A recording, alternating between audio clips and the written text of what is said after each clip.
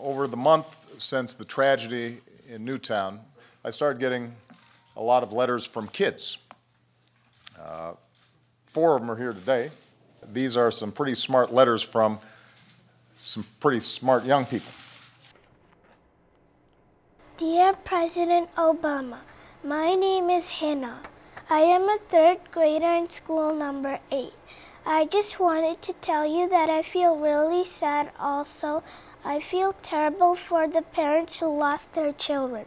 Mr. President, can we do something which will stop all of these terrible problems?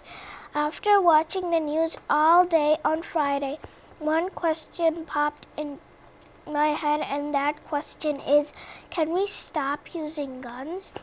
If I think if there are no guns on the street, no one could get hurt. Bullets don't have eyes. It can hurt anyone. I am really scared of guns and criminals around the world.